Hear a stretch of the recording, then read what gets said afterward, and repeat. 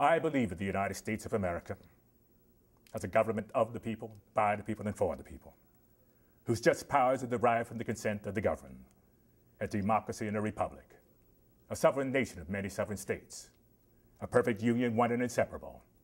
established upon those principles of freedom, equality, justice, and humanity, for which American patriots sacrificed their lives and fortunes.